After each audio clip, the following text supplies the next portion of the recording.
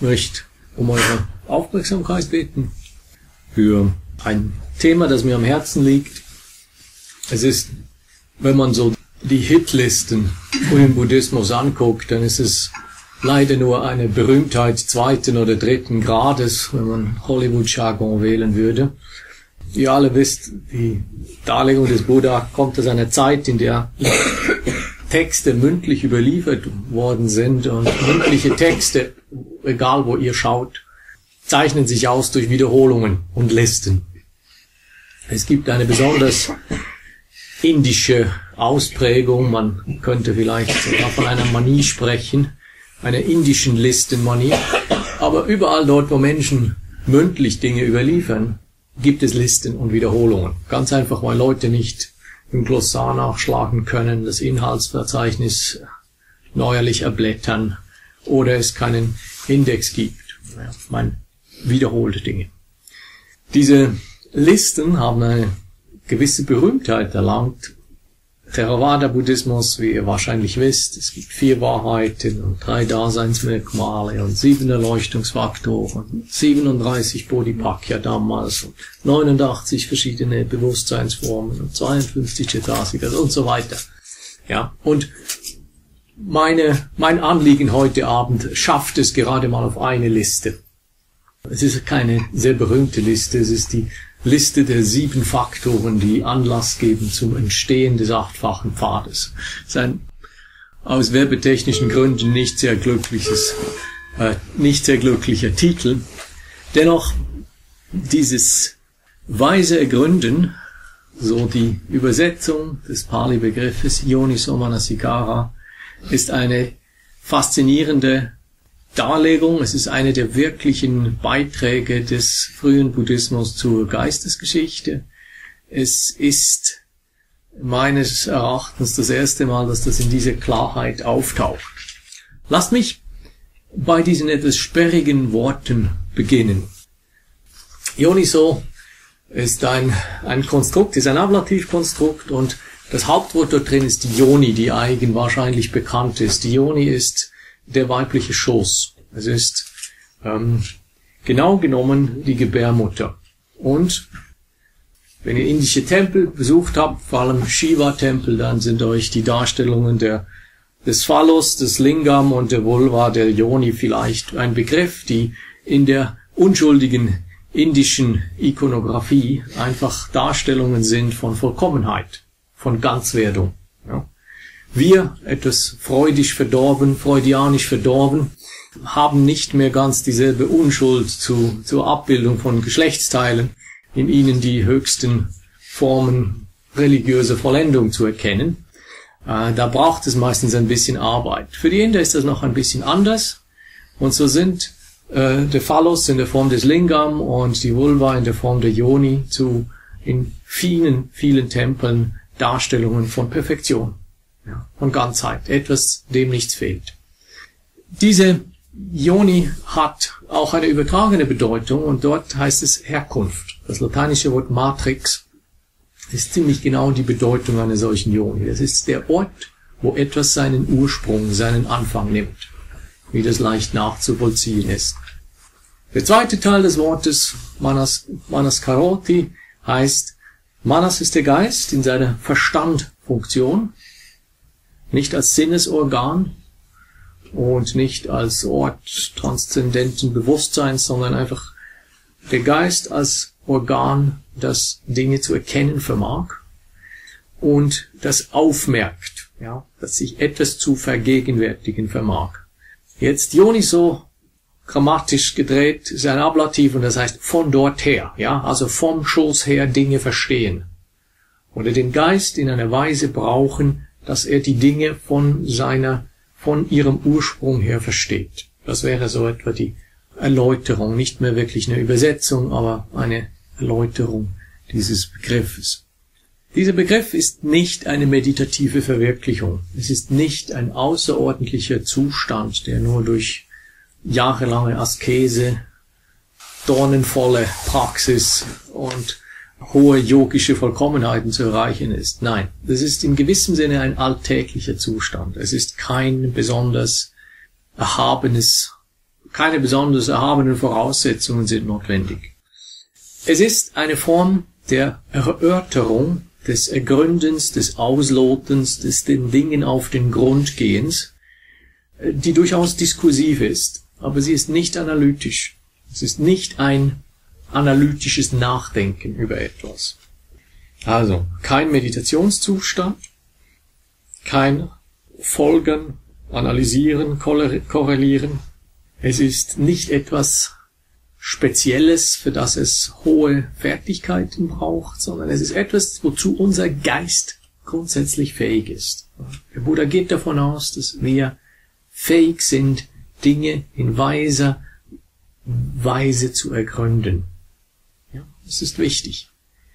Mit dieser kleinen Einführung steht unser Begriff von Yoniso Manasikara in einem der Großthemen in der Buddha-Darlegung. Wie ihr wahrscheinlich wisst, da gibt es eine ganze Reihe von großen Themen, die immer wieder aufgewärmt werden mit neuen Begriffen.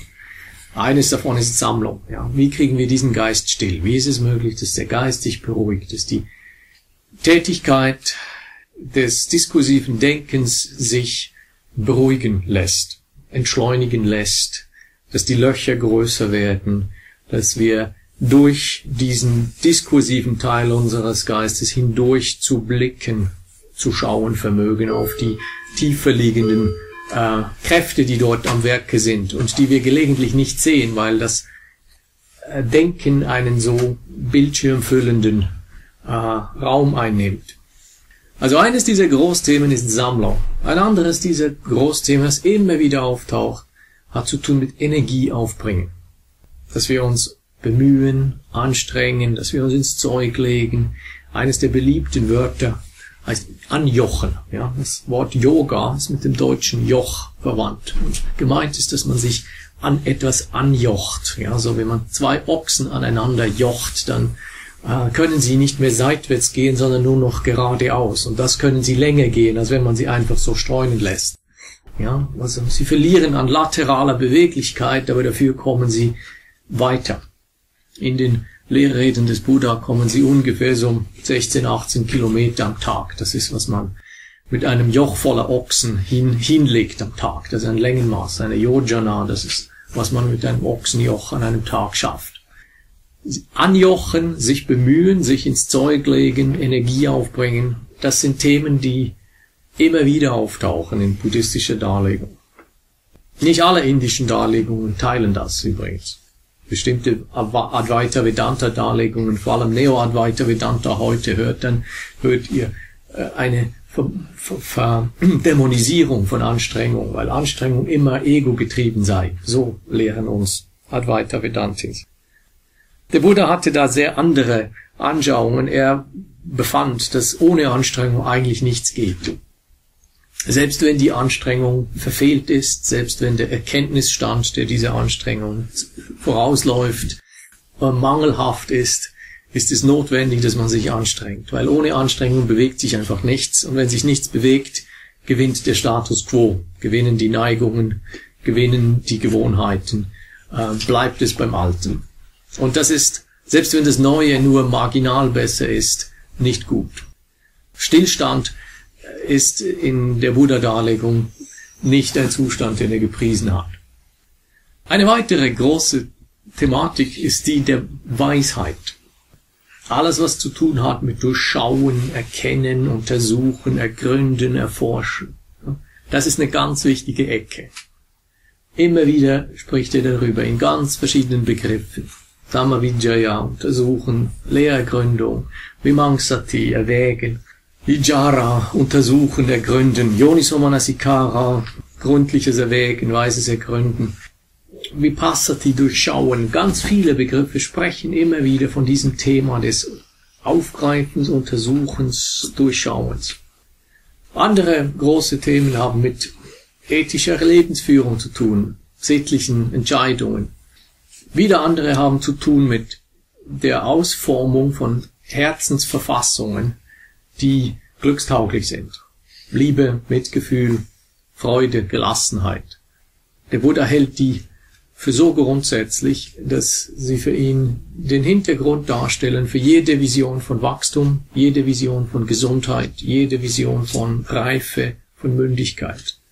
Bei allen diesen Vieren sind diese vier Brahma-Viharas von Metta, Liebe, Karuna, Mitgefühl, Mudita, Freude und UPK, Gelassenheit oder Heiterkeit, Gleichmut, die Grundlage.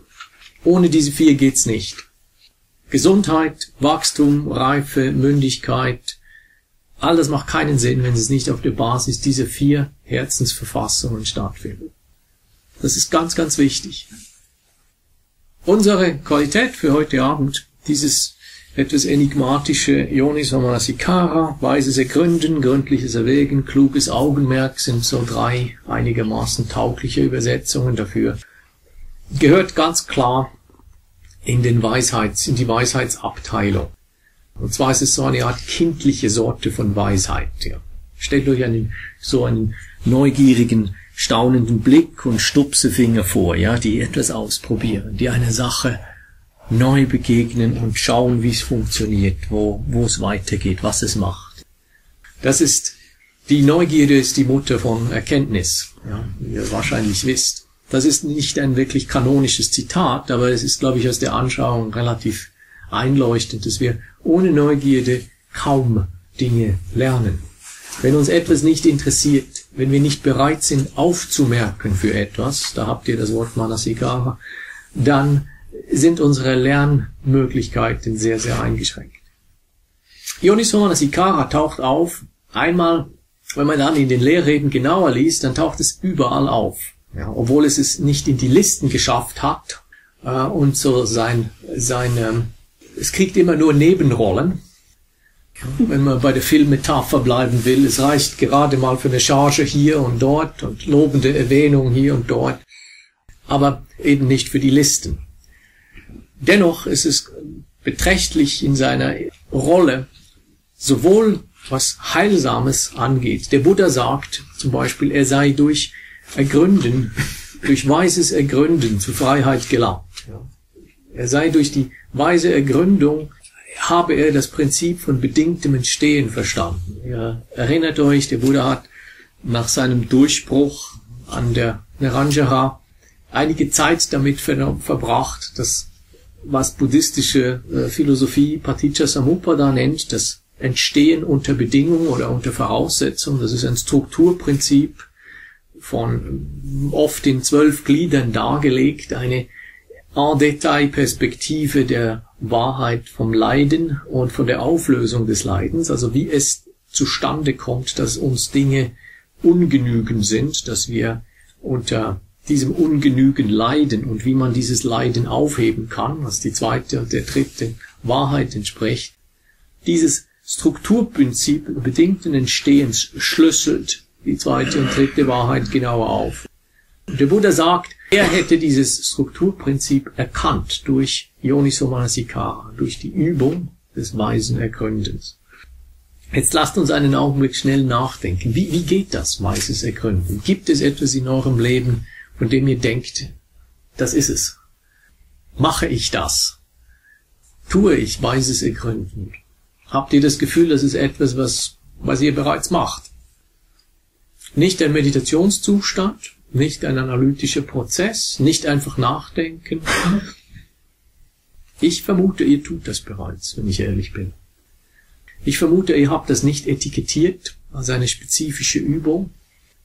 Und dennoch glaube ich, dass wahrscheinlich die meisten von euch das auf die eine oder andere Weise tun, vielleicht sogar unfreiwillig, un undeklarierterweise. So stöbernd, vielleicht nicht immer mit viel Zielorientierung, aber so etwas daran hat damit zu tun, dass wir ganz, ganz langsam über einen bestimmten Bereich hinweggehen, dass wir ganz gründlich sind. Es ist das Wort, das ich auf Deutsch für den Begriff Schoß nehme, ist das Wort Grund, ja, gründlich, gründliches Erwägen, weises Ergründen, auf den Grund gehen, ja. Dieses bedarf einer Entschleunigung. Etwas ganz Unvoreiliges, das stattfindet und eine Hinwendung meines Geistes. Yoniso Manasikara ist immer mit Sati verbunden, mit unserer Geistesgegenwart oder was sich eingebürgert hat, als Achtsamkeit zu bezeichnen, hier im Westen. Das ist ein super Wort, Achtsamkeit. Das macht niemandem Angst. Wir alle haben den Eindruck, wir können achtsam sein. Wir alle haben insgeheim den Eindruck, wir wissen bereits, was Achtsamkeit ist. Das ist ein bisschen trügerisch, weil es ist nicht ganz wahr. Ja. Das, was wir mit Achtsamkeit übersetzen, mit einem relativ hausbackenen Wort, das in der deutschen Sprache seit mindestens Säuse, glaube ich, äh, beglaubigt ist, das ist nicht ganz so simpel, wenn man das Pali anschaut. Dort bedeutet es ein bisschen was anderes. Es ist komplexer dort. Aber die Achtsamkeit macht niemanden kopfscheu. Das traut man sich noch so zu, selbst wenn man neu ist mit der Sache. Achtsam sein, das kann ich. Unachtsam ist schlecht, da sind wir uns alle einig. Da gehen Dinge schief, semmeln Dinge ab, brutzeln Dinge an und so weiter. Und das wollen wir vermeiden. Und Achtsamkeit, das ist das Gegenteil davon. Da geht alles gut, nichts brennt an, nichts semmelt ab, nichts bleibt hocken. Das stimmt. Das ist ein Teil von Aufmerksamkeit. Das ist ein Teil von Sati. Aber es ist nur ein kleiner Teil. Den müssen wir nach und nach reinholen. Ja, das ist was. Wir versuchen, dem, der ehrbaren alten deutschen Achtsamkeit nach und nach Qualitäten unterzujubeln, die sie zwar in buddhistischer Psychologie hat, die wir aber in unserem Haushaltsbegriff Achtsamkeit nicht mehr drin haben. Das ist wichtig, weil wenn wir nur den Haushaltsbegriff behalten, dann haben wir unter Achtsamkeit nichts anderes als eine Art Aufpasspraxis, damit nichts Unachtsames geschieht. Und dann haben wir unter Achtsamkeit die Fortsetzung unserer Kontrollzwänge. Und das ist nicht, was der Buddha gemeint hat.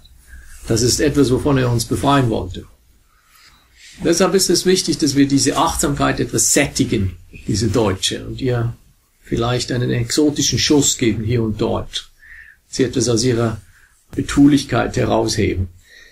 Diese Achtsamkeit, eine gesättigte Achtsamkeit in der buddhistischen Psychologie hängt immer zusammen mit ethischen Qualitäten, sie hängt zusammen mit Qualitäten, mit erkenntnismäßigen Qualitäten, sie hängt zusammen mit Qualitäten des Bemühens, ja. Und sie hat einen Bezug. Sie ist intentional. Ja, sie ist nicht einfach frei und driftend, sondern sie ist intentional, sie ist gerichtet. Mindestens auf den gegenwärtigen Augenblick. Das ist ihre mindeste Ausrichtung. Manchmal ist sie auch noch konkreter ausgerichtet auf Prozesse, Sachverhalte, Abläufe. Diese Achtsamkeit, die hat viele Freunde. Einer ihrer Freunde heißt Yoniso Manasikara. Diese arbeiten zusammen. Und wenn man sie versucht einzeln quasi zu definieren, dann tut man ihnen immer ein bisschen Unrecht. Ja, es ist immer so, als ob man etwas aus seinem Zusammenhang heraushebt, um es klarer zu sehen und zugleich zerstört man etwas, was ihm eigentlich wesenseigen ist, nämlich dass es mit anderen Dingen zusammenhängt. Das ist ein Prinzip, mit dem Naturwissenschaft sehr zu ringen hat, weil Naturwissenschaft versucht gelegentlich Dinge einer besseren theoretischen Definition halber genau zu definieren und zu isolieren aus anderen Zusammenhängen und dabei äh, bringt sie es gelegentlich um. Wenn ihr Bewegungsabläufe von äh, Meerschweinchen untersuchen wollt, dann könnt ihr nicht nur Pathologen fragen, versteht ihr? Wenn ihr nur den Pathologen fragt, dann wird ihr das Meerschweinchen umbringen und genau schauen, wie sein Knie funktioniert oder sein Hüftgelenk. Und er sagt euch vielleicht etwas Interessantes über, wie sich das Meerschweinchen bewegt, aber es wird euch nie zeigen, wie das Meerschweinchen sich wirklich bewegt. Das ist ein Problem, dass die Insistenz auf einer theoretisch sauberen Definition, die mit einer Isolierung des Untersuchungsobjektes einhergeht, oft den komplexeren Zusammenhang dessen, was wir untersuchen wollen, auseinandernimmt. Wir schummeln also ein bisschen, wenn wir jetzt versuchen, Sati zu definieren und wenn wir versuchen, Yoniso Manasikara zu definieren, als ob wir die einfach so herauslösen könnten. Lasst mich einfach sagen, Sati hat immer, Manasikara, Yoniso Manasikara hat immer Sati mit sich. Genau genommen ist Yoniso Manasikara so etwas wie die Brücke von unserer Sati, unserer Aufmerksamkeit, Achtsamkeit, Geistesgegenwart und der Weisheit. Das, was aus Achtsamkeit, aus Sati letztlich Weisheit zu destillieren vermag. Das ist der Prozess von Yoniso Manasikara. Das ist unsere Fähigkeit eines weisen, ruhigen, gründlichen Erwägens. Hinwenden unsere Aufmerksamkeit, dranbleiben mit unserer Aufmerksamkeit und, das ist ganz wichtig, die Fähigkeit, unsere beurteilenden Geist zu parken. Es ist wichtig, hier eine kleine Unterscheidung zu machen. Leute sind sehr wohl bereit, ihren urteilenden Geist zu parken, aber dann geben sie auch jegliche Unterscheidungen auf. Das ist nicht, was der Buddha meint. Der Buddha meint, es macht sehr wohl Sinn, Dinge zu unterscheiden. Aber es ist ein Unterschied zwischen einer Unterscheidung und einer Beurteilung. Ein gewichtiger Unterschied. Nicht unterscheidendes Schauen hat wenig Sinn aus buddhistischer Perspektive. Es macht wenig Sinn, wenn wir Dinge genauer untersuchen wollen, dass wir sie nicht unterscheiden. Aber wichtig ist, dass wir uns des Urteils über das, was wir vorfinden, vorerst enthalten, weil diese Urteile verstellen uns oft genug die Sicht. Sie lassen uns oft genug das deklamieren, was wir im Grunde genommen schon wissen oder was wir wissen, was wir gerne hätten oder was wir insgeheim befürchten. Meistens ist es eines der drei. Yoniso Manasikara ist also fähig, eine Aufmerksamkeit aufzubringen, die die Dinge von ihrer Wurzel her in ihre Verästelungen hin zu begleiten vermag, mit Hilfe von Geistesgegenwart, mit Hilfe eines unterscheidenden, ruhigen Erwägens, was hier stattfindet. Die Kommentare sprechen an einer Stelle etwas ganz Interessantes. Sie machen eine Unterscheidung zwischen eine Form von Yoniso Manasikara, die damit zu tun hat, dass wir eine Haltung üben, also dass wir quasi schauen und horchen und der zweite Teil, der zweite Strang dieser Unterscheidung ist eine Form von Yoniso Manasikara, die damit zu tun hat, dass wir taugliche Mittel gewinnen.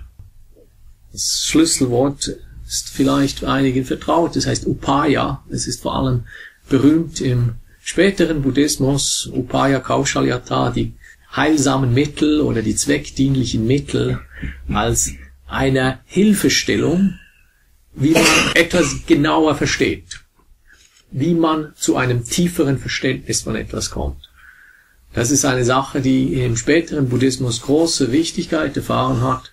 Es ist aber schon da. In den frühen Suttas ist es da. Ich kann mehrere Stellen beibringen. Ja all die Leute, die behaupten, das sei eine Erfindung des Mahayana-Buddhismus, nein, schon in den Pali Sutras ist alles da. Fußnote geschlossen. Unsere Kommentare reden also davon, dass wir einerseits Yoniso Manasikara kultivieren können als Haltung des Horchens, des Schauens, der verlangsamten Aufmerksamkeit mit einer Sache und dass wir andererseits eine Yoniso Manasikara kultivieren können durch die Gewinnung zweckdienlicher Mittel.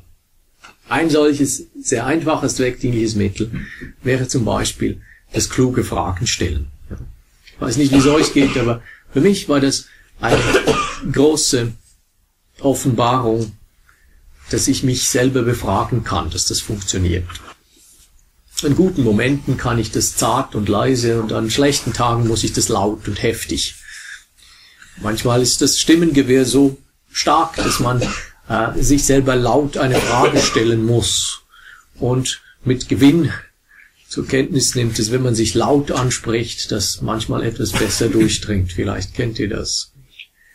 Der eigene äh, Gedankenwust kann gelegentlich Dichten annehmen, die es notwendig machen, dass man sich etwas beherzter anspricht. Vielleicht ist das nicht so bei euch, dann seid ihr zu beglückwünschen.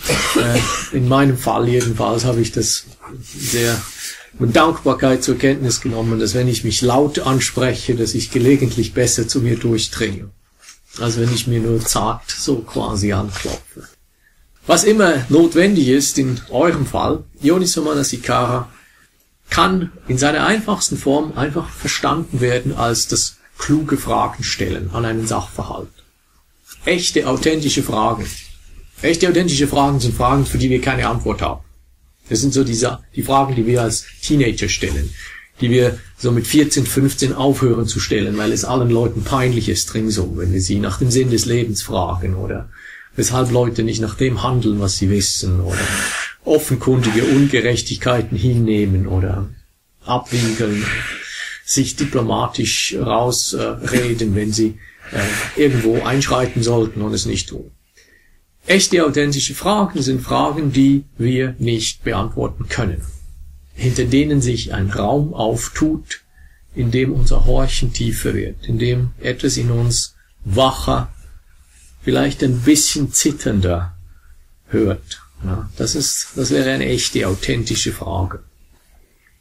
Der Buddha gibt dann eine ganze Reihe Beispiele, wie man solche Fragen stellen kann. Manchmal sagt er, hält er das für Yoniso Manasikara, manchmal äh, müssten wir implizieren, dass damit, äh, dass das eine Form von Yoniso Manasikara ist. Der Buddha ist ein guter Frager. Er hat, er schätzt Fragen. Er hält Fragen für ein Zeichen von Intelligenz. Er meint nicht, dass man alle Fragen beantworten müsse.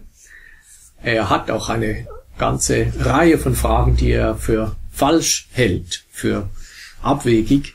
Genau genommen, es gibt eine ganze Kategorie von Fragen, die er für Ayoniso Manasikara hält, für unweises Ergründen. Und das ist, bringt uns aber einen zweiten Aspekt unseres Begriffes von heute Abend.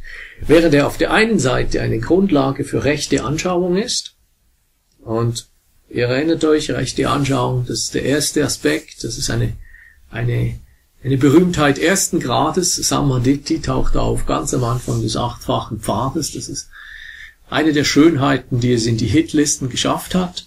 Rechte Anschauung ist der erste Schritt auf dem großen, auf der achtspurigen äh, Autobahn des achtfachen Pfades. Vielleicht ist es besser, wenn wir uns das nicht als ein, eins nach dem anderen vorstellen, sondern mehr so eins nebeneinander. Und Yoniso Manasikara wird als eine Vorstufe von äh, Erkenntnis verstanden. Ja, so der Buddha sagt, äh, das, das Merkmal von Yoniso Manasikara ist, dass es die Erkenntnis vorbereitet. Äh, einer meiner Lehrer in Thailand hatte ein schönes kleines Bild, eine Analogie, die euch, ich euch nicht vorenthalten will. Es geht so, dass eine Frau in ihrem Nachen in den Fluss hinaus paddelt, um dort Lotusstängel zu schneiden. Lotusblüten, wie ihr wisst, die wachsen über die Wasseroberfläche hinaus, im Gegensatz zu Seerosen europäischen, die an der Wasseroberfläche blühen und ihre Blätter haben, wächst der Lotusstängel aus dem Schlick durch die Wassermenge hindurch, über die Oberfläche hinaus und blüht dann zum Teil in, ja, 20 Zentimeter Distanz der Wasseroberfläche. Diese Lotusse, die kann man natürlich ernten und äh, als Blumen brauchen oder man kann die Stängel essen. Also unsere Frau jedenfalls paddelt da raus mit ihrem Nachen und will Lotus, Lotusse schneiden. Damit sie das kann, muss sie einen Anker auswerfen, damit ihr Schiffchen nicht von der Drift weggenommen wird. Sie wirft also ihren Anker aus und dann greift sie nach diesen Lotusstängeln, die über das Wasser hinausragen, und bündelt sie mit einer Armbewegung. So büschelt sie so, zieht sie sich an die Brust, spannt die Stängel und mit der anderen Hand schneidet sie sie. Ja, so ein thailändisches Miet oder eine kleine Machete. Ja, ein Haushaltmesser für solche Belange. Und schneidet sie. Jetzt die Analogie sagt, dass das Schiffchen, das ist unser Geist. Die Drift, die an diesem Schiffchen zieht, das ist die assoziative Strom, der laufend stattfindet in unserem Denken. Der Anker, mit dem sie das Schiffchen vor Ort hält, das ist Sati, das ist die Geistesgegenwart, unsere Achtsamkeit. Ja.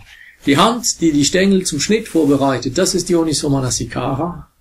Und die Hand, die den Schnitt führt, das ist Weisheit. Das ist die trennende Klinge die die äh, Knoten der Unwissenheit durchschlägt, querbeet durch die indische oder auch vor allem die buddhistische Tradition ist, äh, wird Panya, Prajna, die Weisheit mit dem Schwert oder mit der Klinge verglichen. Haben wir einen Manchushri hier? Eine kleine Statue. Ich sehe sie nicht, aber ihr seht sie wahrscheinlich. Hier vorne. Ach, ach ja, genau, richtig, ja. Ihr seht, ja. Schwert. Die, Kathol die Katholiken unter euch äh, kennen wahrscheinlich den heiligen Michael, nicht?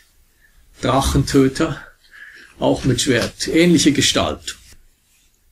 Also, wir haben den Geist, das Schiff, den Anker, die Geistesgegenwart, den Arm, der den Schnitt vorbereitet und die Stängel bündelt, Ionis Manasikara, unsere untersuchende, vorbereitende Qualität, und wir haben die Schnitthand und das Messer, das Wirken von Weisheit, durchtrennenden Erkenntnis.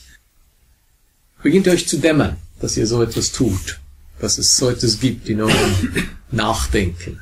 Habt ihr den Eindruck, das ist etwas, was machbar ist oder was wünschenswert wäre? Wie kommt ihr zu euren Erkenntnissen? Wie findet das statt, dass ich etwas verstehe? Ja. Das große Wunder des Verstehens. Wie macht man das? Pädagogen, Psychologen, Mütter, Väter? Wie, wie bringt man Verstehen herbei in jemandem, den man vor sich hat? Man hält Dinge hoch, man, man erklärt, man erläutert, man macht Zusammenhänge, man bittet um Aufmerksamkeit und, und hofft, dass der Funke springt. Und ich vermute, dass ihr wie ich äh, wisst, dass man das nicht machen kann für jemanden. Ja? Wenn der Funke nicht springt, dann, dann springt er nicht. Dann kann man tiefer erläutern, man kann versuchen, wo jemand stecken bleibt, man kann langsamer vorgehen, man kann Begriffe aufschlüsseln, man kann es versuchen zu veranschaulichen, aber den Funken kann man nicht springen machen. Das ist einer der Gründe, weshalb buddhistische Missionsarbeit so schleppend langsam vor sich geht, weil Buddhisten glauben nur, dass man eigentlich äh, frei wird, indem man Dinge versteht. Und das kann man Leuten nicht aufzwingen. Es macht keinen Sinn, Leute zu bekehren, wenn man ihnen eh nicht, nicht aufzwingen kann, was, was, was ihnen hilft. Versteht ihr? Das ist ein ziemlicher Dolchstoß für jedes missionarische Sendungsbewusstsein. Deshalb sind Franziskaner im 12., 13. Jahrhundert in Tibet, aber Buddhisten kommen erst, kriechen erst jetzt langsam aus den Löchern hier im Westen. Yoniso Manasikara als etwas, das wir tun können. Nicht in Meditationsübung, aber mit Hilfe der Geistesgegenwart, mit Hilfe der Achtsamkeit, die wir schulen in Meditationsübung. Yoniso Manasikara ist nicht etwas, was ich empfehlen würde, ihr tut, wenn ihr euch hinsetzt für eine halbe Stunde oder eine Stunde zu Hause. Das ist nicht, was ich als erste Übung empfehlen würde. Vielleicht, wenn ihr zwei Wochen Meditationsretreat macht, dann würde ich das empfehlen, zwischendurch machen. Aber das ist nicht eine Übung, die den Geist sammeln hilft. Das ist eine fruchtbare Haltung des Geistes, die ihn durchlässig macht für neue Erkenntnisse. Das ist etwas, was ich sehr empfehle außerhalb von formeller Meditationspraxen. Nicht, weil es formeller Meditationspraxis nicht auch helfe, aber ich vermute, dass ihr mehr Zeit nicht meditierend verbringt als meditierend. Und ich möchte nicht, dass man Yoniso Manasikara auf eine meditative Übung reduziert und somit quasi irgendwo in eine Nische eures Lebens ausquartiert. Es gibt große Teile von buddhistischer Praxis, die haben mit unserem Leben zu tun, nicht nur mit medit formeller Meditationsübung. Eine Möglichkeit, wie wir das anwenden können, ist, wenn wir ein solches Fragestellen ganz langsam entlang bestimmter Muster tun. Die Darlegungen geben uns ein paar Beispiele solcher Muster. Ein berühmtes Muster, vielleicht nicht genug berühmt, ist das Muster von vier Qualitäten einer Sache, die uns immer wieder beschäftigt. Etwas taucht immer wieder auf in meinem Leben und ich merke, da ist etwas drin, was ich nicht verstanden habe. Das ist das Erkennungsmerkmal von etwas, das ich nicht verstanden habe, dass es immer wieder auftaucht. Das ist, was Praktizierende von Nicht-Praktizierende unterscheidet. Wenn nicht praktizierende Menschen etwas haben, das immer wieder auftaucht in ihrem Leben, dann suchen sie Schuldige. Dann suchen sie andere. Es tut weh, irgendjemand muss schuld sein. Jede Form von spiritueller Übung, soweit ich das verstanden habe, beginnt damit, dass ich aufhöre, solche Auslagerungen zu machen. Ich versuche zu merken und mir einzugestehen, was es ist, das ich tue oder was es ist, das ich unterlasse, dass sich etwas Schmerzliches wiederholt in meinem Leben. Mit anderen Worten, ich bin bereit, meinen eigenen Anteil darin zu erkennen und im Umstand, dass es sich wiederholt in meinem Leben, ein Zeichen zu sehen, dass es hier etwas zu verstehen gilt.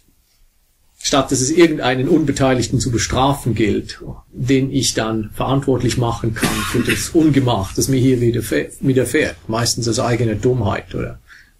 Yoniso Manasikara, angewendet auf etwas, das sich immer wieder stellt in meinem Leben. Sagen wir, ich werde etwas Simples. Ich werde, ich ertappe mich dabei, wie ich immer wieder wütend werde. in Schlüsselmomenten kriege ich kleine Anfälle von Wut. Größere Anfälle von Wut. Innere, privatime, kleine Ragen oder wirkliche Aussetzer, äh, was immer. Ja? Etwas, das sich wiederholt, etwas, das euch beschämt, etwas, worin ihr erkennt, da ist eine unverstandene Angelegenheit in meinem Herzen, in meinem Geist. Yoniso Manasikara sagt, lass uns vier Fragen stellen. Lass uns die Frage stellen nach Entstehen, Samudaya, das Auftauchen, das, Erschein das in Erscheinung treten. Lass uns die Frage stellen nach erstens mal, dass es in Erscheinung tritt. Ja, der Umstand, dass es in Erscheinung tritt, bedeutet, es ist nicht immer da. Es ist also nicht etwas, das es einfach fraglos und voraussetzungslos gibt in meinem Leben, sondern es taucht auf und verschwindet wieder. Dieses, das nächste ist natürlich die Frage, wie taucht es auf?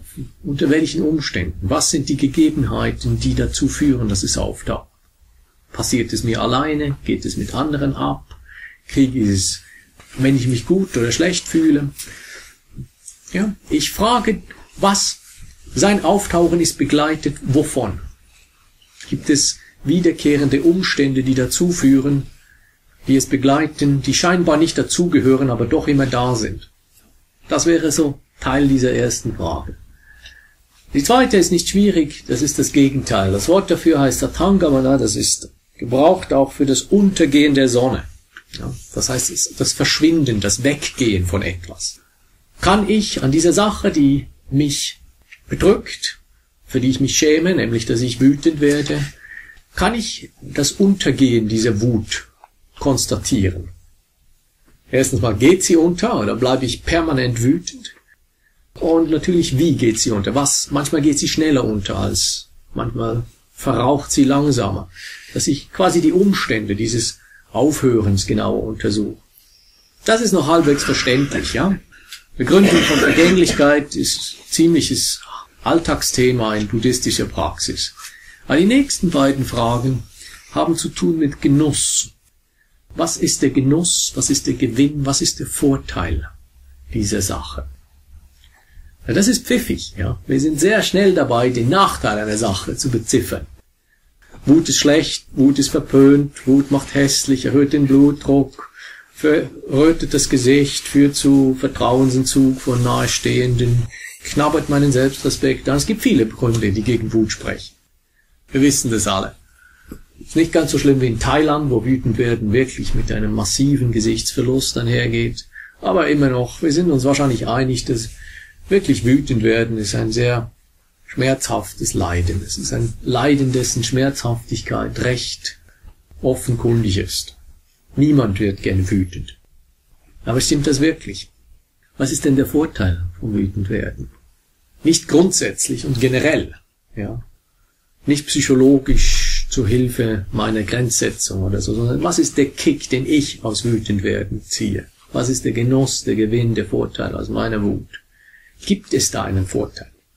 Gestehe ich mir überhaupt ein, was da passiert, was es an Vorteilen gibt? Vielleicht kriege ich Power dadurch, ja. Andere kriegen Angst.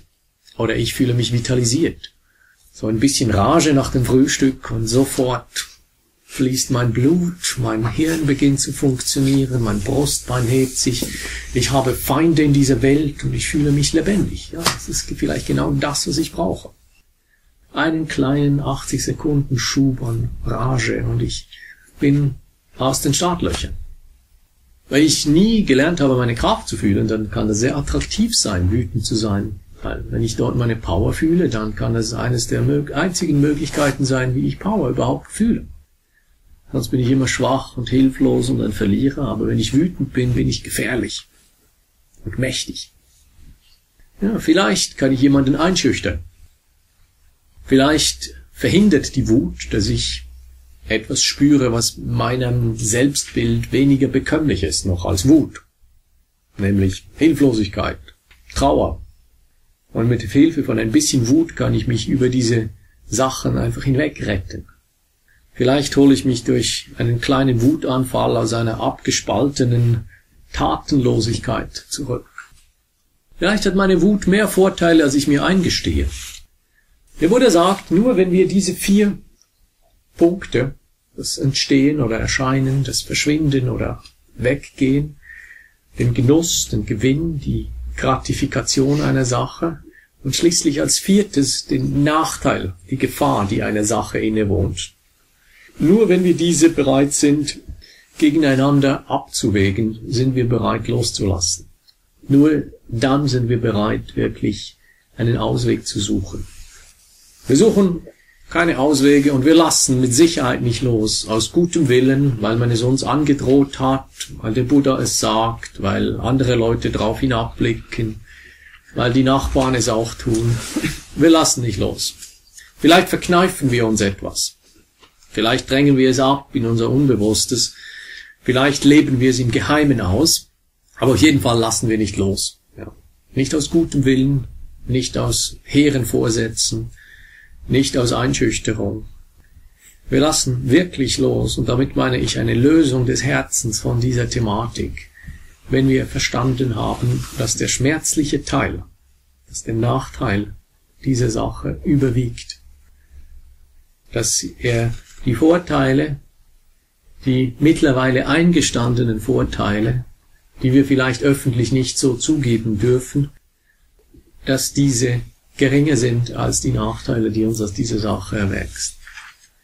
Das finde ich ein ganz interessantes Raster, wie man Yoniso Manasikara anwenden kann. Also diese vier Fragen stellen und wirklich aufrichtig mit sich horchen, was kommt, wenn wir nach diesen Fragen, nach diesen Qualitäten fragen. Jede Form einer aufrichtigen Frage und eines sorgfältigen, wirklich offenen Horchens wird uns Teile einer Dynamik unserer Psyche oder unseres Geistes erschließen helfen, wenn wir sie, wenn wir uns die Zeit nehmen, wenn wir uns das Herz nehmen, unsere Urteile zu suspendieren für eine Weile und genauer hinzugehen, uns, uns mit einer Sache auf die Bank zu setzen und zu spüren, wie es sich anfühlt, mit dieser Sache zu sein, ohne sie zu verurteilen oder ohne sie zu legitimieren. Diese Bereitschaft, Aufmerksamkeit in einer Zone zu halten, wo wir keine festen Beurteilungen haben. Das ist die Voraussetzung für den Erkenntnisgehalt dieser kleinen Übung. Versteht ihr? Je mehr ich mich auf das einlasse, was ich eh schon im Grunde weiß, ja. Und wie oft sagen wir uns, ich weiß nicht, wie es euch geht, aber mir, die meisten Dinge, die ich, wo ich Mist baue, die sage ich mir schon eine ganze Weile, ja. Ich bin nicht wahnsinnig originell in den Formen meines Leidens. Ich bin eigentlich sehr unoriginell, so kommt's mir vor. Ich, ich leide nicht jeden Tag auf eine neue Weise. Ich, die Dinge, in denen ich mein Ungenügen erlebe, die sind mir relativ vertraut jetzt, ja. Ein paar finde ich mit 19 in meinem Tagebuch.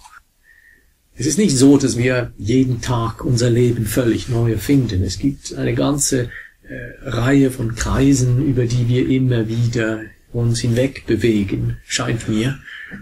Mangel an Originalität, vielleicht ist das schlechter Geschmack. Aber, äh, vielleicht ist es auch einfach, dass wir um die Dinge kreisen, an denen es zu wachsen gilt. Und statt äh, unsere Aufmerksamkeit strategisch möglichst anderswohin zu lenken, ist Yoniso Manasikara und Geistesgegenwart die Bereitschaft, unsere Aufmerksamkeit genau dorthin zu lenken, wo wir im Grunde genommen nicht sein wollen.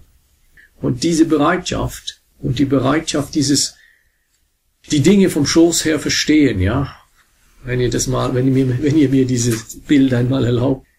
Eine zutiefst demütige Haltung, nicht? Also eine Haltung, in der ich nicht ein Experte, in der ich nicht ein Wissender bin, in der ich noch keine Tricks habe, in der ich mich geradezu mutwillig in das Unangenehme meiner um einer unerlösten Situation hineinbegebe und dort drin ausharre, in der Zuversicht, durch mein Hineingehen, mein ruhiges und unvoreiliges Horchen und Ergründen ausloten, dass ich dort eine Erkenntnis gewinne. Und lasst mich absetzen an diesem Punkt.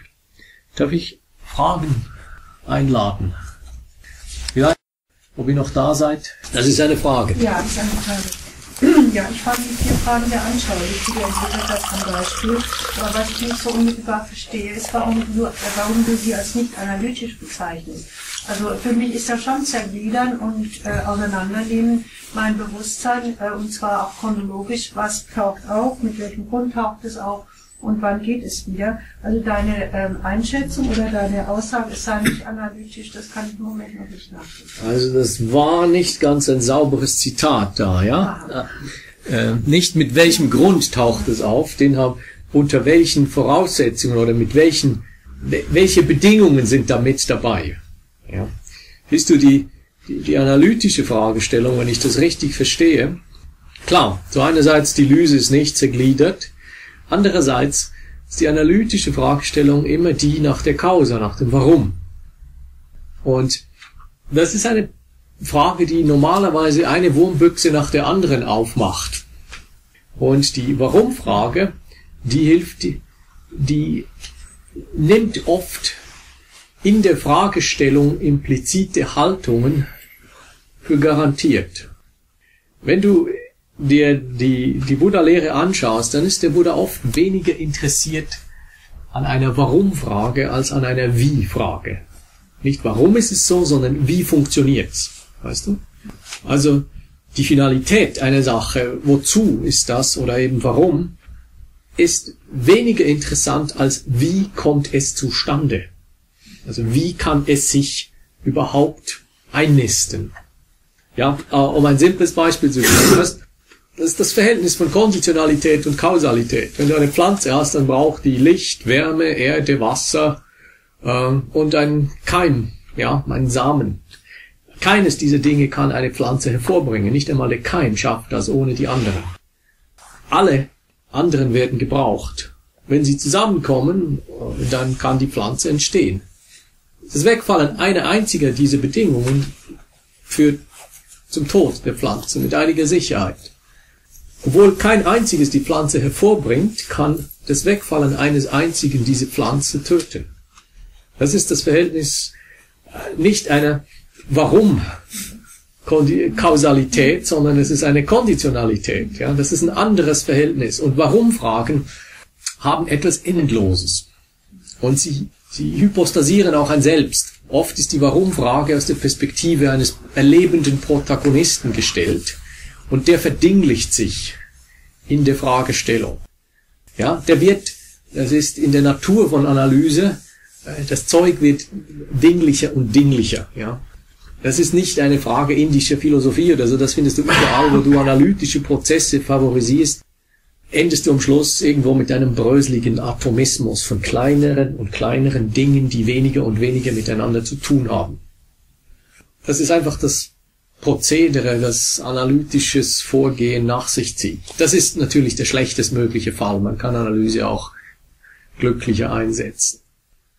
Synthese ist auch nicht besser. Da kriegst du immer mehr und mehr Zusammenhänge und am Schluss wird das Ding größer und größer und du kannst entweder sagen, es ist schrecklich oder du sinkst davor in die Knie und betest es an. Ja?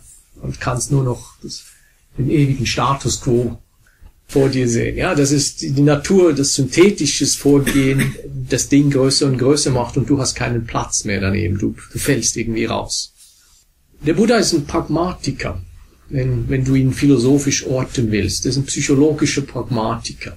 Er stellt nicht einmal die Frage, warum es Menschen gibt oder so. Er sagt, der Anfang ist unausdenkbar. Samsara ist endlos und ist sinnlos. Äh, es gibt keine Teleologie, also keine kollektive Evolution des Bewusstseins. Äh, es gibt Menschen, die sich befreien. Aufgrund individueller Anstrengung und individueller Erkenntnisse ist es möglich, dass sie unter Umständen günstigere Umstände schaffen und diese dazu nutzen, Dinge zu verstehen.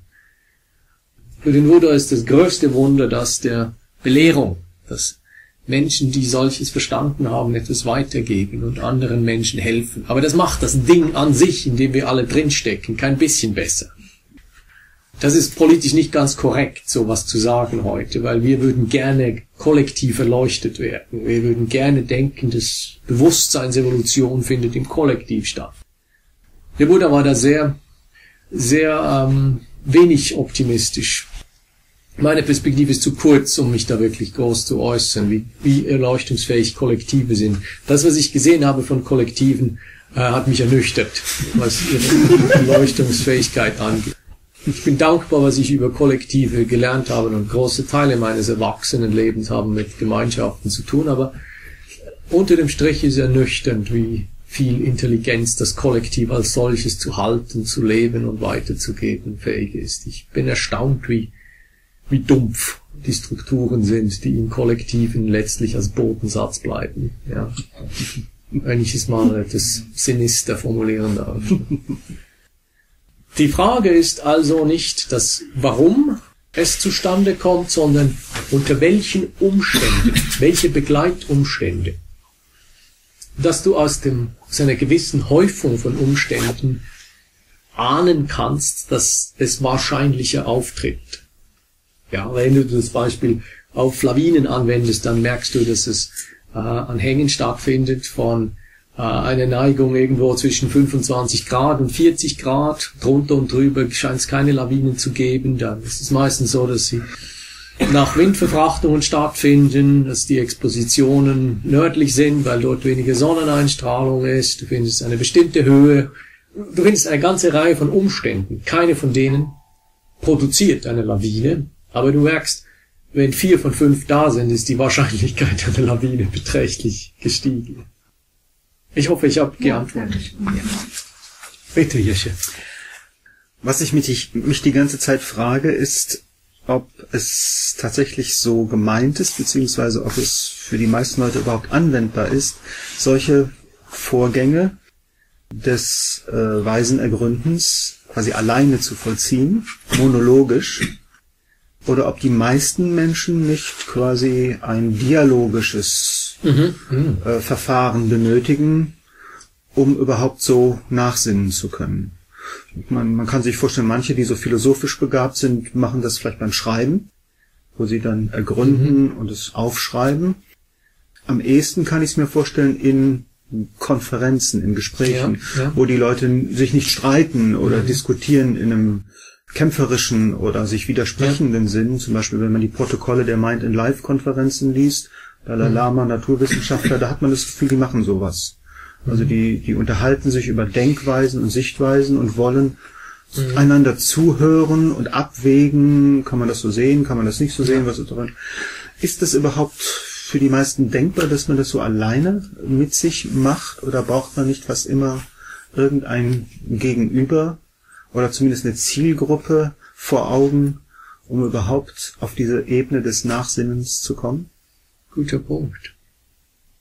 Vielleicht bin ich simplistisch, aber ich, ich gehe davon aus, dass das meiste, was wir mit uns selber machen, internalisierte Formen dessen sind, was man mit uns vorgelebt hat oder was man uns vorgelebt hat. Ja, also ich, ich bin da, glaube ich, sehr, sehr psychologisch, dass ich davon ausgehe, dass was ich internalisiere als Verhaltungsmodi in Bezug auf meine eigene Erfahrung ich, ist wahrscheinlich das, was man mir vorgelebt hat, wie man sich mit mir in Beziehung gesetzt hat. Das würde bedeuten, dass ich vielleicht Anleitung kriegen kann da drin. Also dass ich, ich weiß, dass ich das mit Menschen mache. Mache das mit meiner Frau zum Beispiel.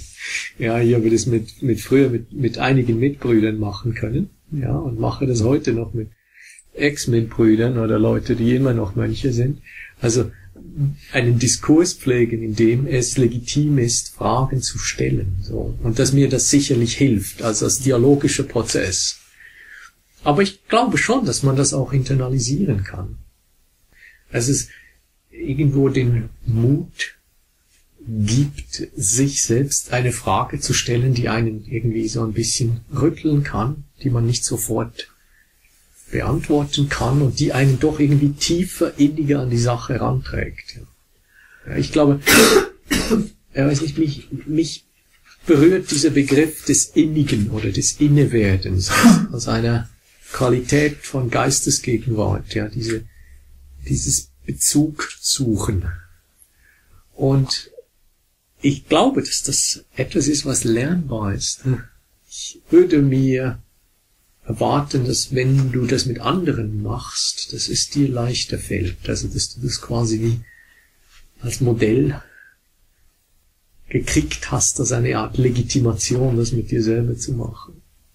Ich denke, es ist wahrscheinlich leichter, wenn du jemanden findest und das übst. Im Grunde von der Entwicklungsgeschichte her, so dass wir erstmal das Spiegeln brauchen, also das ja. reflektiert werden mit unseren ganzen Spiegelneuronen, die man inzwischen dingfest machen kann, und dass wir dann eben allmählich befähigt werden zu der Selbstreflexion. Also offenbar gibt es diesen Prozess des Internalisierens, wenn wir es eben erst erfahren, dass wir das verinnerlichen. Also so, so habe ich das zumindest verstanden, dass eine Haltung der Selbstreflexion ist, nicht des über sich Nachdenkens.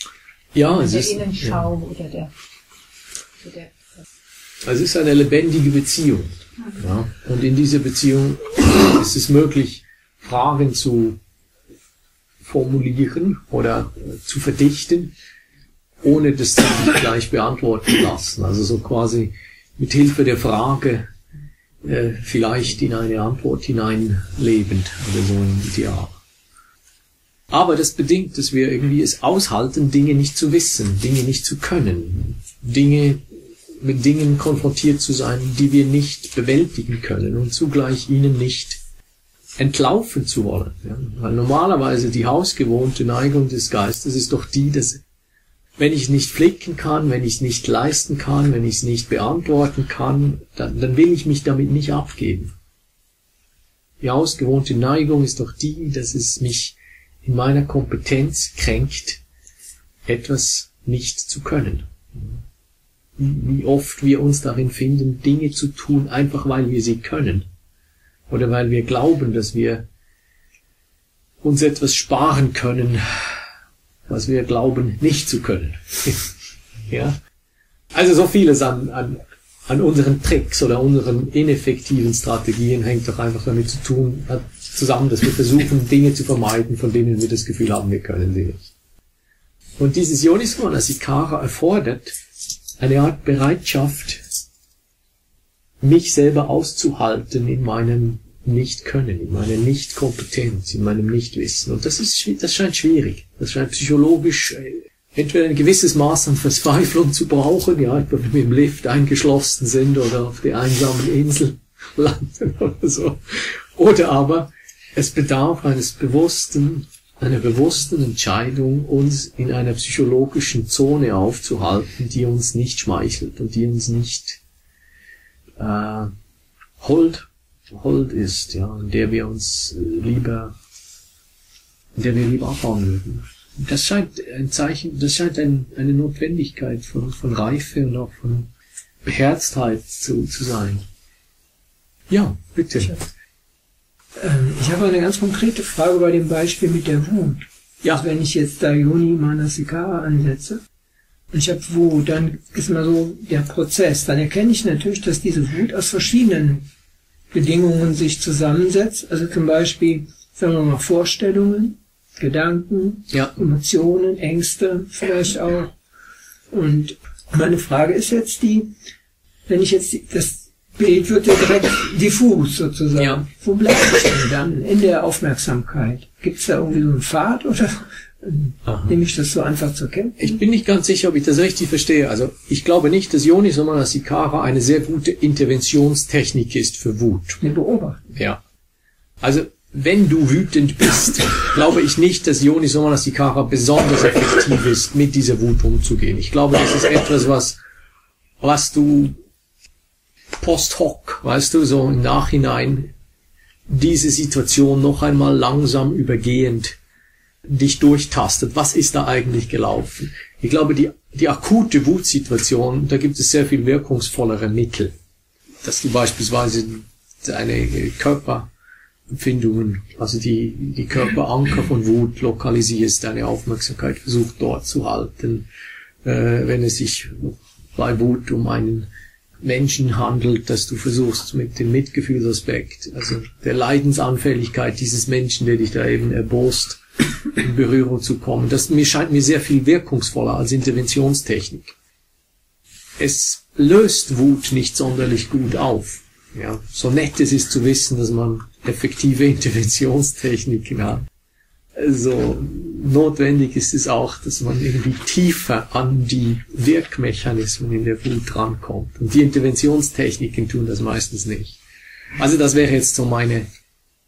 Aber ich bin ich auf deine Frage oder habe ich sie? Ja, ich, ich meinte tatsächlich das Ergründen. Also das. Ja. Ähm, aber es ist, ich denke wahrscheinlich trotzdem eine Antwort, weil ähm, ich meine, ich mache das ja schon so im Prozess der Wut, versuche ich auch herauszubekommen und zu spüren, wo kommt jetzt her? Was sind eigentlich die Faktoren? Und dann erkenne ich sehr schnell, also ohne jetzt intervenieren zu wollen, das habe ich ja sowieso dabei, sondern mich auch zu verstehen, mich kennenzulernen. Also wieso komme ich jetzt in eine Wut oder wieso komme ich jetzt in einen Ärger? Und dann erkenne ich halt die diverse Faktoren. Also zum Beispiel, dass ich so feste Vorstellungen habe oder Enttäuschung erlebe oder äh, gedanklich, emotional und so weiter. Das sind so verschiedene Sachen, Muster.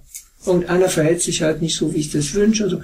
Und dann sehe ich, dass das halt me meistens mehreres ist. Und ja. meine Frage ist halt, lasse ich das so mehrfach stehen oder gehe ich da mal auf einen näher ein oder was, was würdest du da so sagen? um es kennenzulernen, nicht jetzt um zu intervenieren, das ist das auch. Ich glaube schon, dass du, dass du die alle genauer abklopfen musst, weil klar, die Jungs arbeiten immer im Team, nicht? Mara, Mara und seine Truppe, das ist ein eingespieltes Team. Die, die, die kommen, äh, die kommen scharenweise, nicht? Äh, das ist ein bisschen unsaubere Aufmerksamkeit, ein bisschen vorgefasste Meinung, ein bisschen schlechte Erfahrung, Gereiztheit, Gereiztheit wenig Schlaf, knapp Zeitnot, all, da hast du meistens ein paar super Ingredienzien und das alles als Hodgepodge macht dann sehr schnell einmal ein bisschen äh, Unfallgefahr. Ja. Ich glaube, die sind alle, an, an denen muss man allen einzeln arbeiten. Ja, was macht mich gereizt? Wo kommt die, die Vorstellung von Zeitdruck her? Ähm, ist es wirklich so, dass wenn man wenig schläft, dass man zwingenderweise schlechter Laune sein muss? Ja, oder ist das ein physikalisches Gesetz? Oder oder ist es möglich, dass man auch müde sein kann, ohne ärgerlich zu sein und so weiter, ja? Also, das sind meistens eine ganze Reihe von Sprüngen, ja. Und diese Sprünge, die vollziehen wir so mit vorauseilender Bereitschaft oft. Und wenn es uns gelingt, einen dieser Sprünge zu vermeiden, dann ist es oft so, dass selbst wenn noch drei, vier andere dieser schlechten Kerle rumstehen, greifen die nicht. Einfach weil es, es braucht die im Grunde alle. Ja. Und einen zu knicken heißt oft, dass die anderen auch weniger gefahrvoll sind. Ich glaube, das lohnt sich, die einzeln abzuklopfen, so als die Zutaten des, des Hexeneintopfes, nicht? Sagen wir jetzt Gereiztheit oder so. Das wäre dann Uniso. Ich, ich würde das als das verstehen. Also wenn du das in dieser sorgfältigen, sachten, und was für mich wichtig ist, auch immer den Gewinnaspekt nicht ausklammernden äh, Weise untersuchst, weil wir sind so geneigt, die Vorteile auszuklammern und nur die Nachteile zu beklagen. Also bei Wut, glaube ich, ist es sehr deutlich, aber das ist auch, das kannst du durchexerzieren. Was ist der Vorteil von Angst, ja, oder der Vorteil von Depression? Das sind alle diese Dinge haben Vorteile. Depression ist ein Klassiker, ja, solange ich depressiv bin, bin ich schwach, ich bin hilflos, man kann nichts von mir erwarten, ich muss nichts Großes, Heroisches tun. Weißt du, ich bin, die Schuld sind immer die anderen. Ich finde, ja, so, so unwünschenswert Depression ist, so sehr hat es konkret situative Vorteile, möglicherweise für mich depressiv zu sein. Ich bin oft verwirrt. Und ich merke, meine Verwirrung hat etwas Strategisches. Ja weil das, äh, meine Partnerin befindet manchmal, dass meine Verwirrungen sehr, sehr durchschaubar seien. Ich, ich sei dort besonders leicht verwirrbar, wo es mir helfe, etwas nicht ändern zu müssen in meinem Verhalten. ja, ich würde irgendwie Verwirrung flacken und dann äh, hoffen, dass man den Anspruch zurückfährt an mich, ja, weil ich etwas sagt, ich bin überfordert, ich bin verwirrt, was geht hier ab? Ja, und sie befinden, dass äh, da sei ein gewisses, ein gewisses System sei da. also, dass meine Verwirrung eine Art Camouflage ist, hinter der ich nicht eine Konsequenz zu ziehen brauche, zum Beispiel. Ja. Also, bitte. Könnten Sie dann noch ein bisschen, noch einmal, Sie haben das wahrscheinlich am Anfang getan, äh, zu umreißen, was eigentlich alles der Gegenstand dieser Art von Erforschung ist. Es ist jetzt ein bisschen eingeengt gewesen ja. auf die Wut und Ärger. Ja. Aber es sind wahrscheinlich doch alles, was uns Negatives begegnet oder worüber, worunter wir leiden. Kann man das irgendwie ein bisschen noch äh, benennen? Also Gegenstand von Yonis Manasikara können grundsätzlich alle heilsamen und alle unheilsamen Verfassungen und die Heilsamen auch. Die Heilsamen auch. Es macht sehr viel Sinn, heilsame Sachen zu erwägen, weil natürlich ist die Entfaltung von heilsamen Geistesqualitäten eine der großen Aufgaben auf dem Weg. Nicht nur die Ausmerzung von Unheilsamen oder die Stilllegung von Unheilsamen, sondern auch natürlich die, das ins Leben rufen oder die Kultur von Heilsamen. Aber das geschieht ja meistens aufgrund von negativen, negativen Erfahrungen oder Haltungen. Geben Sie mir ein Beispiel. Ja, das fällt mir vielleicht ein, aber ich kann mir nicht vorstellen, auch das Wort heilsam allein beinhaltet ja schon einen Gegensatz zu was Unheilsamem. Und die kommen, das kommt ja nicht von selbst, sondern alles, ähm, mir ist nicht ganz klar, wo, die, wo diese Nachforschung ansetzt. Nun, die setzt an mit einem willentlichen Entscheid meinerseits, dass ich bereit bin, einen Aspekt, der, den ich als nicht verstanden erachte in meinem Leben, sei es, weil er als heilsamer Aspekt nicht deutlich genug ist oder weil er als unheilsamer Aspekt allzu ja. deutlich ist. Ja. Und ich bemüht bin, die Verästelung oder die Verwurzelung dieses Sachverhaltes genauer zu untersuchen. Mit einer horchenden, fragenden, ergründenden Haltung, die bereit ist, alles, was ich weiß, zu suspendieren, alles, was ich weiß, zu parken, die bereit ist, quasi mit, mit, mit frischen Ohren und frischen Augen und frischen Herzen an dieses heranzugehen und mich dem nicht weiter zu entziehen, sondern dass ich, und das ist der radikale Schritt, oft, wenn es unangenehm ist, natürlich die Neigung, mich von ihm abzuwenden, zu hoffen, dass es ausbleibt künftig, ja, sondern dem mich zuzuwenden. Ja. Das ist, glaube ich, die, der radikale Schritt. Das ist das, was erfordert ist. Äh, und das braucht eine geschulte Geistesgegenwart. Weil eine gewohnte Aufmerksamkeit, die, die knickt einfach ein.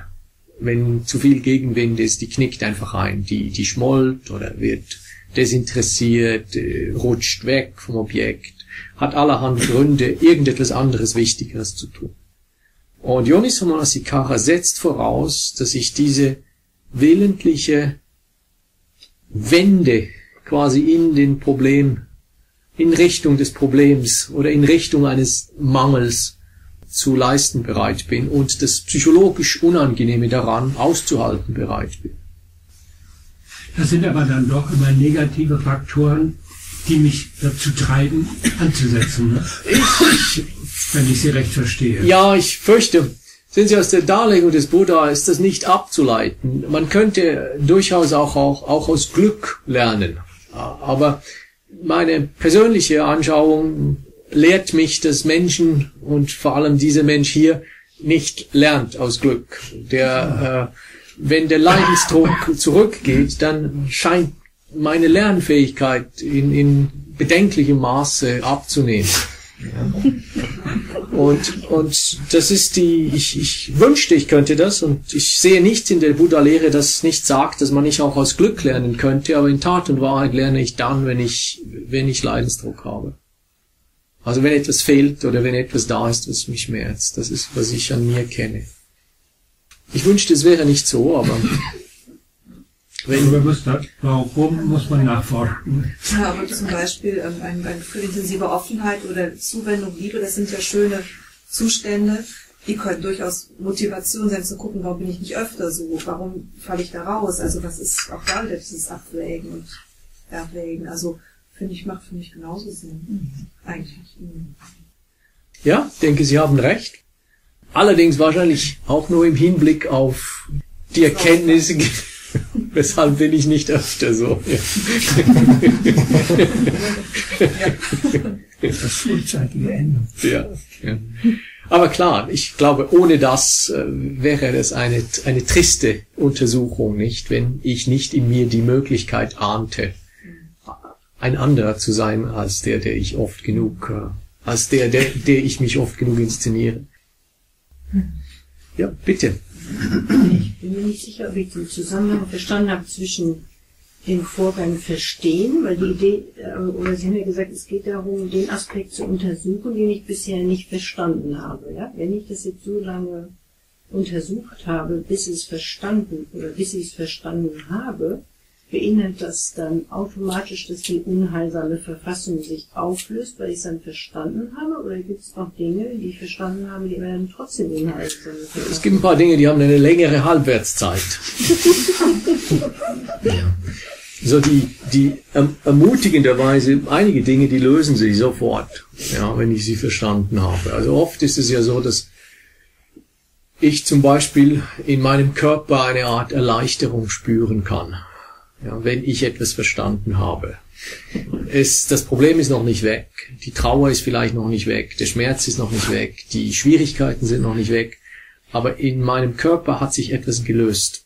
Also ich komme in, in, in Berührung mit irgendeiner Kompetenz oder mit einer Wandlungsfähigkeit.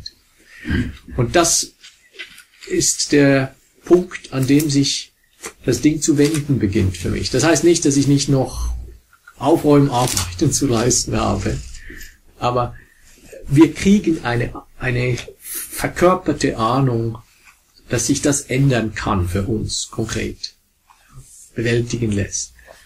Also ist dann die Ahnung der Motor der Veränderung oder wäre dann das sozusagen erneute Untersuchung eher so eine sagen redundante Selbstreflexion oder würde das durchaus Sinn machen, das dann nochmal zu untersuchen? Ich denke, das Risiko sollte man eingehen, dass es möglicherweise redundant ist. Ja? Weil wenn es nicht redundant ist, dann hätte man was verpasst. Also ich glaube, das ist wirklich eine kostbare Form, unseren Geist zu brauchen, ja, möglichst frei von seinen äh, vorgefassten Wahrnehmungen und seiner, einem Sachverhalt zu öffnen und zu stellen. Auf das Risiko hin, dass wir etwas bereits verstanden haben ich glaube, die Chance ist gering, dass wir allzu viel unnötige Arbeit leisten, weil wenn es wirklich gelöst ist, dann haben wir Zugang dazu. Das ist ja nicht so, dass das mystisches Wissen ist, sondern das ist Wissen, das sich durchaus begrifflich oder diskursiv oder vollzugsmäßig leben lässt. Antworte ich auf Ihre Frage? Ja, ja, ich, äh, also ich habe ja trotzdem gewisse Bedenken, ja, dass es so, wie soll ich das mal sagen, so eine Form von besonderer Nabelschau werden kann, wenn ich das mal Aha, okay. ausdrücken kann. Naja, sehen Sie, Yoniso Manasikara hat ein paar Merkmale. Eines davon ist, dass sie nicht in einer personifizierten Weise geschieht, dieses Nachdenken. Das sind die Merkmale von Ayoni so, dass sie aus der Perspektive eines Protagonisten nachdenken, aus der Selbstperspektive. Das sind fast immer Indizien, dass das nicht sonderlich fruchtbar ist. Ja, bitte. Ich, ich habe eben noch, ich noch mal da, ich hänge noch an dem Punkt, äh, warum man nicht aus Glück lernen kann oder so wenig aus Glück lernen soll. Und äh, mir ging irgendwie so durch den Kopf, dass ja, äh, ich habe auch die Hirnforschung das immer so, so betont, dass eben wir besonders auf so aversive Reize immer reagieren und die uns einfach wieder in Schwung bringen. Also die eben zu vermeiden, als ob wir wirklich so gepolt seien, einfach eher Schlechtes zu vermeiden, als das Gute zu verstärken. Und ähm, das beschäftigt mich eigentlich auch schon eine ganze Weile. Also ähm, die Möglichkeit eigentlich aus Glücksmomenten zu lernen. Und ich weiß nicht, Jesche sagte eben, vielleicht braucht es genau dafür diese dialogischen Strukturen oder eben auch so eine Rückbindung eigentlich an, mehr, an etwas, was mehr ist als individuell, als vielleicht kollektiv, vielleicht irgendwie noch in einem anderen Verständnis, damit einfach diese Glücksmomente sozusagen reinforciert werden können und dadurch einfach erhalten oder auch immer wieder neu aufgesucht werden kann. Also ich bin so unzufrieden damit, merke ich, dass ich nur aus Unglück lernen soll. Ähm, das beschäftigt mich sehr. So. Habe ich noch was zur Hirnforschung sagen? Soweit ich das verstanden habe, lernt unser Hirn besonders gut, wenn wir begeistert sind. Aber dieser Mandelkern, ne, diese Amygdala, die feuert dann wenn wir das Feuerskreuz aversiv, ängstlich in diese ja, das äh, um den anderen Aspekt. Also ähm, habe ich das mal so gehört. Dass, also, also, ne? Aber ich denke, das was ich schul, ne? Und das kann ich mir ja aussuchen. Da kann ich ja meinen Fokus mal hier mal dahin setzen. Und mir ist schon, wenn ich das noch sagen darf, die ganze Zeit auch der Kapazin jetzt eingefallen, der profitiert ja sehr von, von diesen Ergründen auch, der ja auch dann so quasi so ähnliche Fragen Leuten zur Hand gibt, die aber einmal eben das Angenehme wie auch das Unangenehme ergründen helfen.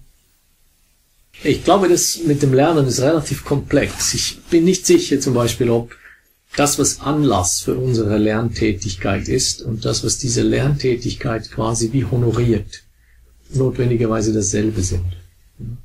Also ich weiß, dass zum Beispiel entwicklungsgeschichtlich jeder Trick der Angstbewältigung leistet in meinem Heranwachsen, wird besonders honoriert in meiner Psyche.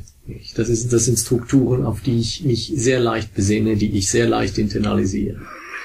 Ähm, zugleich macht mich neugierig und ermutigt mich natürlich, wenn ich positive Rückmeldungen, also wenn ich diese Verstärkungserlebnisse kriege, nicht? Wenn ich mich zum Beispiel gesehen, wenn ich mich verstanden fühle.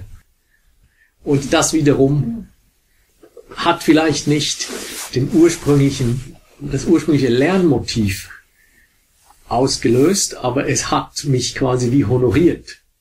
Und das begünstigt das Lernen. Vielleicht war das nicht der, der Trigger, aber es hilft oder es befördert mein Lernen indem es mir Rückmeldungen gibt, das ist machbar, äh, ich werde verstanden, ich finde Dinge, die nicht nur für mich wertvoll sind, sondern die haben über mich hinaus Gültigkeit und so weiter. Also ich, ich könnte da eine ganze Reihe in meiner Erinnerung beibringen, wo ich äh, das sehr beglückend erlebt habe. Aber oft ist es schon so, dass der Schmerzpunkt der Auslöser ist, der sagt, so wie es ist, ist es nicht gut genug. Oder da ist irgendwie was, da gilt es was zu verstehen. Ich hoffe nicht, dass es dabei bleibt, ja. Ich, wenn ich ehrlich bin, ich, ich habe immer noch die, ich hege immer noch die, die Hoffnung, eleganter zu leiden. weniger aufwendig, weniger, mit weniger Schweiß im Gesicht. Vielleicht. Leistung. Ja, genau. genau. Mit mehr Spaß. Nein, nein. ja, das ist beschwingter. Ne? Gut, danke, danke. Wenn es okay ist, was wolltest du noch? Ja, irgendwie habe ich das Gefühl, wir brauchen von dir noch irgendeine Erlaubnis. Und zwar, also ich, ich werde einen Verdacht nicht los, nämlich dass wir nicht emotionale, stille Selbstgespräche für bisschen verrückt halten. Also solange wir emotional über uns denken, ist normal. Ne? Mhm. Aber würden wir jetzt tatsächlich weise ergründen, still da sitzen, da gibt's irgend so ein Männchen im Ohr, das sagt, spinnst du? Aber an der Stelle müsste uns jemand sagen, nein. Du darfst still sitzen und in kluger Weise über irgendwelche Vorgänge nachdenken. Da gibt's irgend, ich meine, da gäbe es irgendein ein kleines Männchen oder Weibchen im Ohr, das sowas für crazy hält. Aber irgendein Buddha oder ein Bodhisattva oder du müssten uns mal sagen, es ist völlig legitim, sich in Ruhe hinzusetzen und auf eine entspannte, ruhige Weise innere Gedanken. Oder? Verstehst du, was ich meine? Ja, ich, ich vermute. Also ich äh, freue mich, dass du mich zu der Herde dieser Schäfchen zählst. ich würde das nicht ganz so wagen wie du, aber ich, ich glaube, wir brauchen Frechheit. Weißt du? Hm. Selbst wenn solche Männchen da sind, ich, ich habe, ich habe aus diesen Männchen so wie Papageien gemacht, weißt du, schimpfende Papageien, die irgendwie fluchen gelernt haben und die leben ihr Leben auf der Veranda und wenn du Gäste hast, die neu sind, dann sagst du ihnen Vorsicht, da flucht was, nicht ernst nehmen, nicht erschrecken. Wir bringen das nicht um, das Tier, es, aber es wird fluchen, wir glauben ihm auch nicht. Weißt du, so, vielleicht ließe sich das Männchen so behandeln. Weißt du, so als ja, du gehörst zur Familie. Du bist zwar nicht, äh, du sollst nicht am Steuer sitzen, du sollst nicht am Kopf der Tafel präsidieren mit, mit deinem Unglauben, aber wir erwarten nichts anderes von dir, als dass du skeptisch bist, Mensch. Oder uns für verrückt erklärst. Ist das Ermächtigung genug? Du hast dir mehr etwas Rituelles vor. ja, sowas wie, äh, es ist, es ist, es ist eine gute Praxis, sich ab und zu hinzusetzen und eine Sache in Ruhe anzuschauen und abzuwägen, worum es da eigentlich geht. Und nicht nur meditieren und ansonsten einen konfusen Geist haben. Also meditieren im Sinne von Doch, Geist ruhig halten und ansonsten wieder. Genau das habe ich gemeint, die was du jetzt sagst. Ja. Also ich, ich hoffe, ich habe etwas davon klar gemacht, ja. dass ich sogar explizite Selbstgespräche ermutige. Ja. ja. ja, einfach in meinem Fall scheint das hilfreich zu sein. Mhm. Ja, weil der dialogische Raum, der sich dadurch gestalten lässt, einfach durch die Anrede an ein Du, selbst wenn das jetzt fingiert ist wie im Selbstgespräch, oder dass ich einen Teil von mir anrede, das hilft mir, diesen Teil genauer zu hören oder ihn oft deutlicher auch zu spüren. Ja. ja. Lasst uns noch ein paar Minuten stille sein. Ich danke euch für eure Aufmerksamkeit.